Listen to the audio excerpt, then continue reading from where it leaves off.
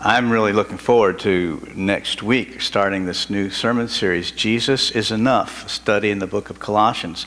I'm really excited because next week Jacob gets to preach and he's going to kick it all off, and I'm looking forward to that. Uh, this will be the first time that I have done a sermon series in tandem, and we've had to figure out who's going to do seven weeks down the road. And uh, so we've all got we've got it all divided, and we've got it div- uh, divided in the book, and then divided between who's going to preach what. And uh, so this is going to be a challenge for for me and for uh, us. And uh, but I'm really looking forward to it because God has so much to say in the book of Colossians to His church, and and so much is applicable to to us today. All of it is, but uh, I'm really looking forward to what God has to teach us. But first things first, uh, this is the last Sunday of our April emphasis of world missions. And um, so I want to keep your attention attracted in that, uh, in that vein. Um, around our sanctuary for several months now, you've seen these flags, right? And imagine, maybe if you're visitor, you're wondering, what in the world are these flags doing in, in, inside the sanctuary. Maybe if you're a regular, you say, every year they bring out these flags. What in the world are these flags for? Well, these flags um, represent the ones you see, 14 different countries. Matter of fact, we're going to go around the room and you help me figure out who, what they are, okay? Can you do that? If I'm going to point to a flag and you tell me what country it represents, yell it out really loud uh, because I can't hear you otherwise, all right? I really do think I need a hearing aid, and I'm going to work on that, but that's for another day. Okay, this flag right here Russia, that flag. Everybody got that one. Yes, France. The next one down there. Hmm. Hmm. Not yet, no. That one's down there. I think it's uh, Taiwan or Formosa. Okay? The one after that, gold, white, green. Where? Ireland has the same colors but different order. That's the Ivory Coast. Ivory Coast. The red one with the yellow stars. China. The next one, I can't see it from here. That's Spain. The one by the clock to the left of the clock. Cuba, the one to the right of the clock. Japan, we all got Japan. The Hershey's, thank you for getting that one right. Then after Japan is Panama. That's the Panamanian one. After Panama is Mexico. The blue and white stripes with the sunshine is Uruguay. After Uruguay, right here with the little wheel, India. Oh, who knows this one here? That's Haiti. Right, it's Haiti. that close. One little border. That's Haiti. And then the last one over here. If you're a soccer fan, you know this one. Brazil, right.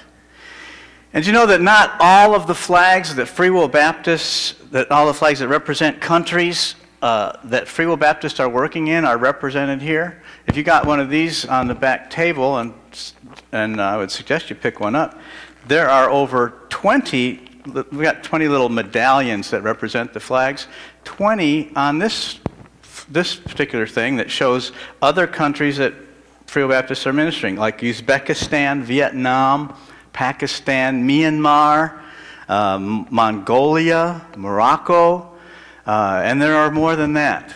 Now, we don't have a, a, native expatriate North American missionary in all those countries, but we have partners that we're laboring with that minister with us and for us in partnership.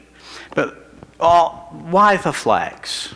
That's my question. Why flags? I want you to think about it just for a second. Why the flags? These flags represent people people in these countries who are infinitely important to God. It's good to take our eyes off ourselves from time to time and face the reality that Americans are not the only people God is interested in. That's why we put up the flags. And I'll go one step further. Even beyond the flags, beyond the geopolitical units we call countries that have borders and governments and rules and laws, there are people groups within these political boundaries we call countries who have distinctive cultures and languages for whom there is no flag, no representation in the global political community who care about them as a, as a people. They're the Berber who, who travel through the Atlas Mountains in western, the, the western Sahara, Morocco, and other countries. The, the Kurds the Kurds who are scattered through Turkey and Syria and Iran and Iraq and have no country of their own, but they've got their own culture and their own language. In Burkina Faso, tiny little country north of Ivory Coast in the west part of Africa, in Burkina Faso, there's 70, 77% of the, the national Burkina Fasoans, I don't know how they pronounce themselves, 77% of them are Gur, G U R, from a, from a tribe. 8% are Fulani. 6% are Mande. 5% are Jula. 3% are Malinke. So even if you have a flag that represents a country of people, inside those countries there are people groups with their own culture and their own language and their own distinctives. Those who map these groups say there's 16,587 people groups in the world of a certain size. That's a, that's a group that has a distinctive cultural, linguistic combination of people who see themselves as us and see everybody else as them, even within their own country. We're told that of those 16,587 people groups, 7,162. There's going to be a test on this, so you need to write down these numbers. Okay? Just kidding. 7,162 are unreached people groups. That means there's not an evangelical church in that group strong enough to support itself and multiply itself to the borders of that people group. And of those 7,162 unreached people groups, there are 418 what we call unengaged. Those groups of 40,000 or more that have absolutely no gospel witness. So here's the bottom line for us to sink our teeth and, and get our minds into this whole concept we call missions. We live in a huge, diverse world. And there are lots of thems in the world that I don't really spend a lot of time thinking about. And neither do you. Why should it interest me? Why should it be of a concern to me? Why should it be a concern to me if the thems around the world have an opportunity to hear the same gospel that I heard and the same gospel that changed my life? Why should sending missionaries to tell them be a priority in my prayer life and in my pocketbook? Why should I be willing to say to God, Here is my child? If you want him, if you want her to use him or her to take the gospel to those who have never heard, to an unreached or an unengaged people group, why should that matter? Now, let me suggest a couple of reasons why it shouldn't matter. It's not because it's the humanitarian thing to do. It's not for the purpose of extending our Western values and culture. It's not because we can't stand to see those, those commercials of starving babies.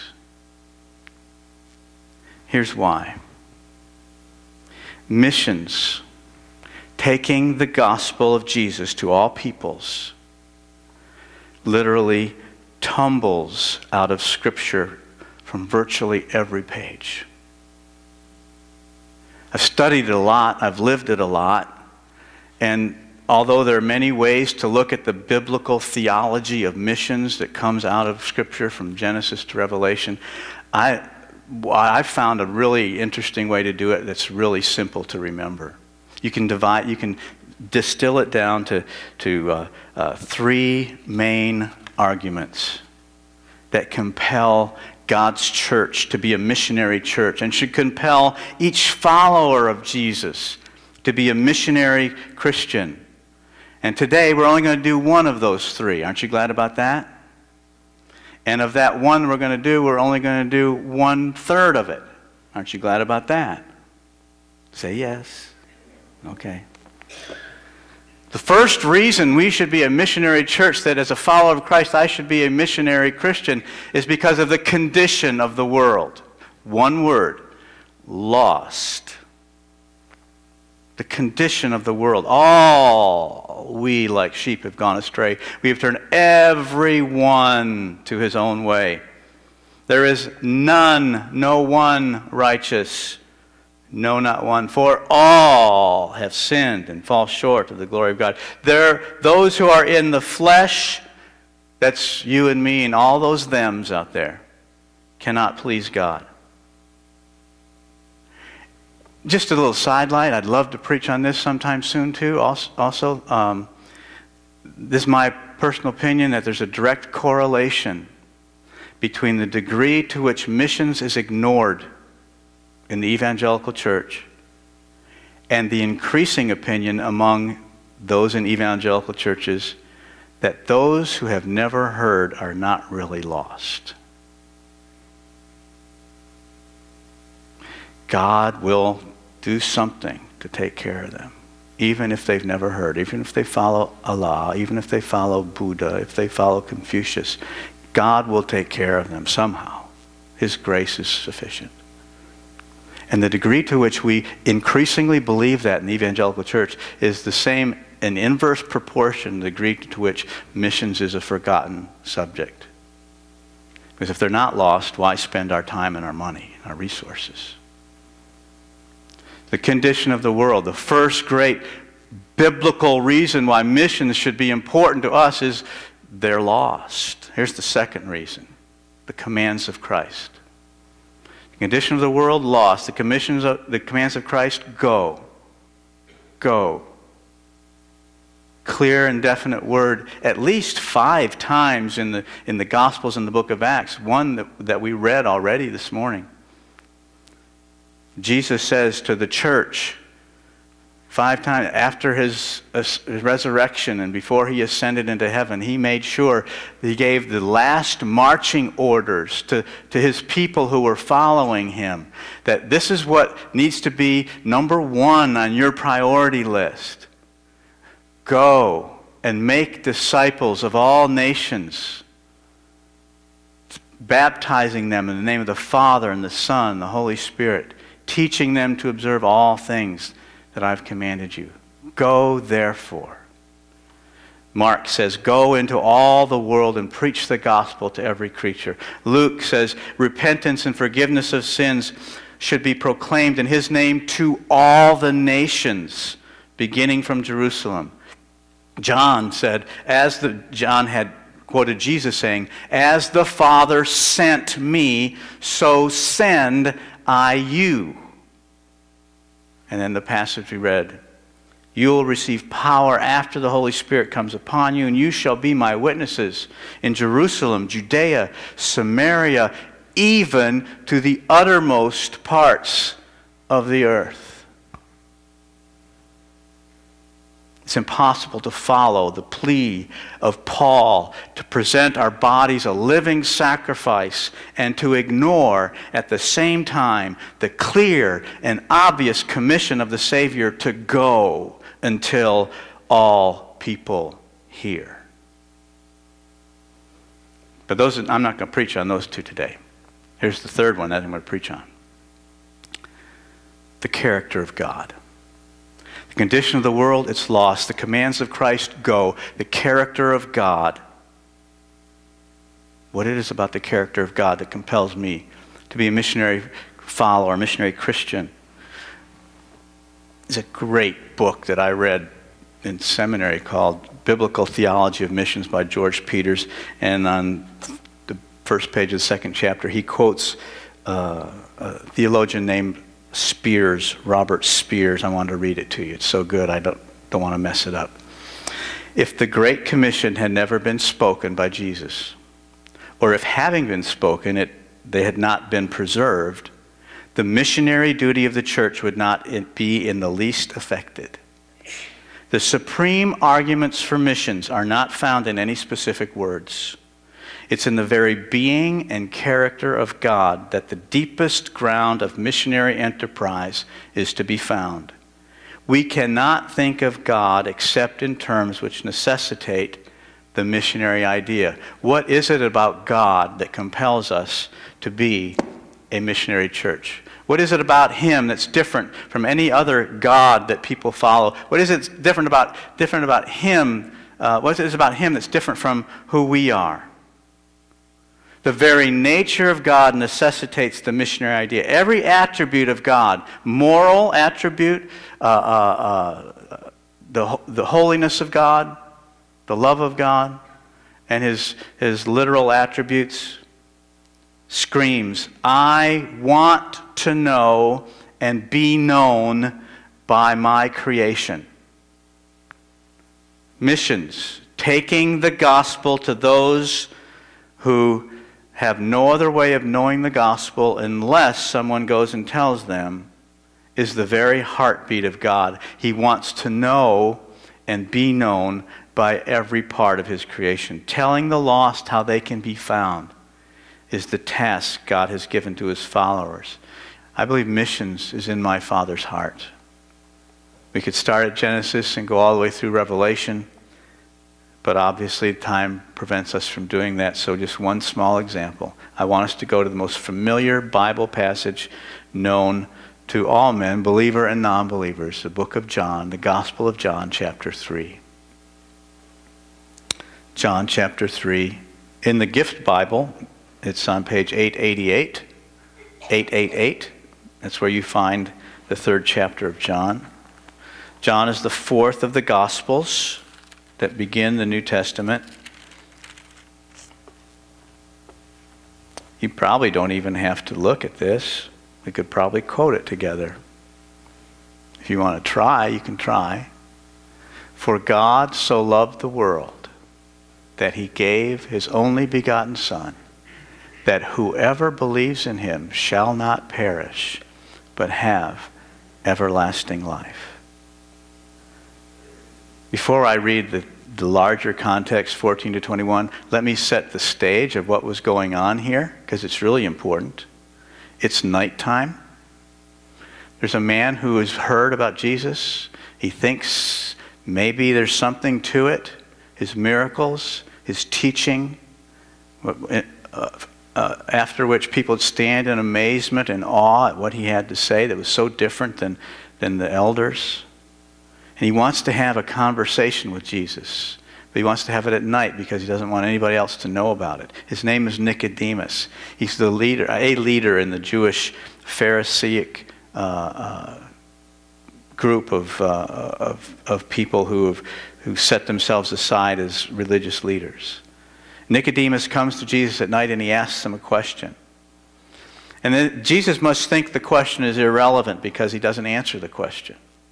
Jesus does that a lot through the Gospels because he knows what's really in people's hearts, and so they ask some, some question to, obfuse, uh, to, to, to, to, mask what they're really thinking about, and, and uh, he goes right to, the, right to the juggler, as it were.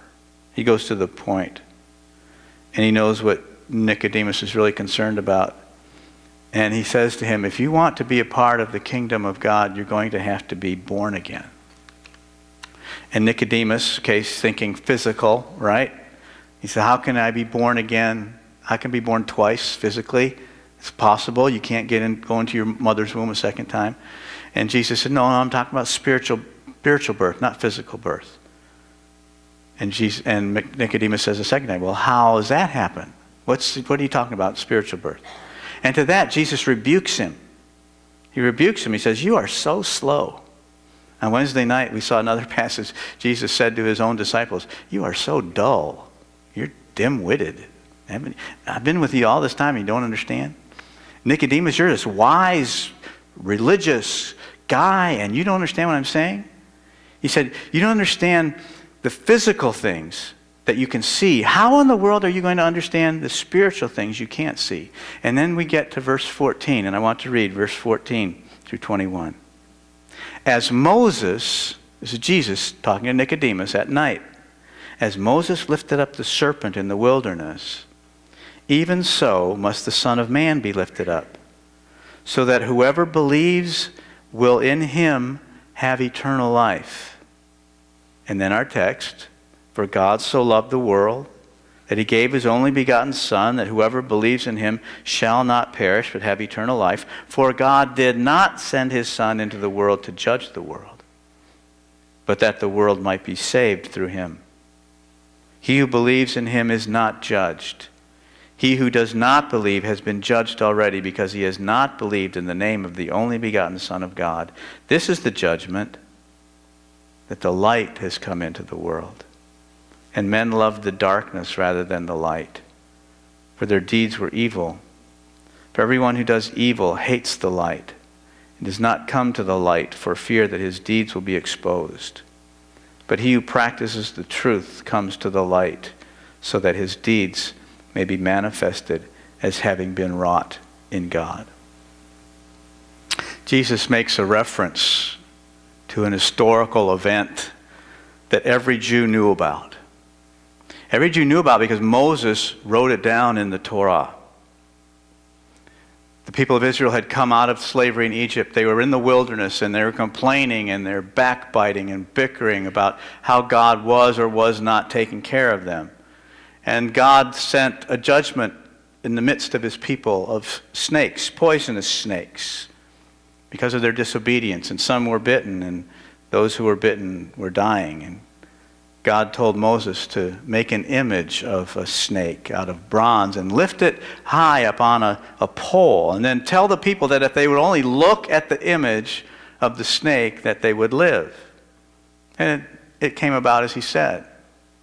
And Jesus, right here with Nicodemus, was looking back at that moment, and he says, This was a direct prophecy that was pointing to Messiah to the way Messiah would be lifted up on a pole to give his life, and everybody who looked, who believed on him, would be saved. Of course, Jesus knew he was talking about himself, but it was not clearly understood at this point that he was referring to himself. Nonetheless, the condition of salvation was made clear faith not works. And then in the explanation that follows, after that allusion to, to what Moses had done and how that was pointing to Messiah, in the explanation, three words stand out to me that explain what it was about God that moves him to provide salvation, to lift up Messiah so people can live for lost mankind? What part of his character will move him to be lifted up upon a cross, dying in the place of those who stood condemned because of their sin? Two of the, these words are direct words describing the character of God, and the third identifies what he wants to give us that in a later text we find out is also a characteristic of God. Let me just give them to you. God is love. God is light and God is life. It's very clear, for God so loved the world that he gave his only begotten Son. The characteristic of God is, is, is, is embedded in that word love. And he is the light, attracting people to himself, dispelling the darkness of sin. He's light. And he's life. It doesn't say he's life, but it says he'll give life. And then later on in John 14, verse 6, he said, I am the way, the truth, and the life. No man comes to the Father except by me. We could spend a whole lot of time talking about those three things, and, but I'm only going to talk about one of those today. Here's the one third of the one third God is love. 1 John 4 8 says, God is love. 1 John 4 16. And we have known and believed the love that God has for us. John 4, 1 John 4 19. We love him because he first loved us. We all know about love, don't we? It's common human emotion. There were some kids that were one time asked about uh, some kids in the elementary school level uh, how that you could tell if two people that they saw in a restaurant were in love. Uh, Bart, who was age nine, said, Well, if they're in love, they'll just be staring at each other and their food will get cold. Other people who aren't in love care more about their food.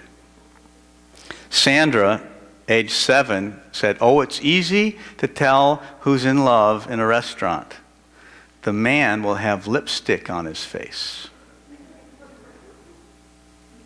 Christine, age nine, said, If they love each other, they order one of those desserts that gets set on fire. He said they like to order those because that's how their hearts are. Their hearts are on fire. Pretty smart for a little girl age nine. A love is when we, we, uh, we feel all gushy and mushy inside, isn't it? It's, it's when we have those warm, tender emotions for something, or the deep desire of someone, or, or deep desire for something, like pizza with ham and mushrooms and onions, or lemon sorbet, or bacon or apple pie with cheddar cheese, or vanilla ice cream if you're American, or new fallen snow, or brown paper packages tied up with string, right? Of course, I'm, I'm being facetious. I don't mean to insult your intelligence. We talk about those kind of things being love. But we have experienced deep, abiding emotional and physical attachment that we call love, haven't we? Well, I don't know how to tell you this, but nothing, nothing of what you've experienced that you have labeled love compares to the love with which the Father loves you and every other human that draws breath. The closest, perhaps, would be the love that a parent has for a child. But even that falls short of God's love for his creation. Commenting on this passage, John 3:16, J.I. Packer said, John is trying to explain that the love that God has for men is totally unlike the love that man might have for one another. It's part of his whole of his very nature to love an unlovable lost creation. And these are my parentheses describing what Packer is going to say here. And he Packer is going to describe the difference between God's love and man's love. He says, Love among men is awakened by something in the beloved.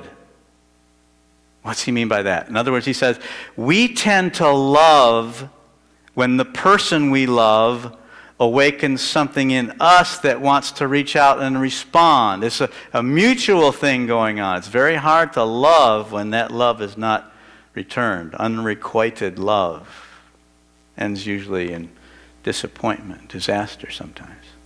This is J.I. Packer again. But the love of God is free, spontaneous, unevoked, uncaused. God loves men because he has chosen to love them. This text that we all know by heart suggests that God's love, God's choice to love, drives him to do the unthinkable. And that's what we call the good news. God loved our sinful race so much that he sent his son. It's clear in the text, isn't it? For God so loved, he gave. But here's the rest of the story, and it's also clear in the text. His love is the solution to a terrible problem condemnation. Man is condemned already because of sin. Even though mankind is loved by God, he rests condemned. Though he loves unconditionally, though God loves the race that he created unconditionally, he, he's not required to love us because we evoked something in our wonderful demeanor that caused him to love us. Though he loves unconditionally, he will not, he cannot forgive and accept us except on the basis of Jesus' sacrifice. For to do so would be to betray the integrity of God's own holy character. The cross is proof of God's love, and man's response determines whether he will perish or not. Without the cross, the Christian message would be logically incoherent. It would be as shallow as the love of a person who always accepts another person's destructive behavior without calling him or her to account. This is the good news that God's love in Christ forgives, transforms, and empowers those loved to righteous and compassionate living. So, there are two essential conditions for experiencing God's love Jesus' death on the cross costly grace, and our self committing trust, genuine faith. Let me say that one more time because that's, if, all, if it's everything else disappears, we need to stand on this, okay?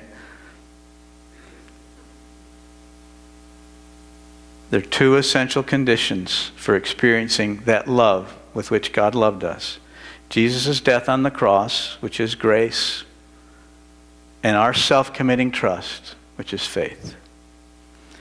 Apart from God's grace, we can do nothing to save ourselves. Our works can never save us.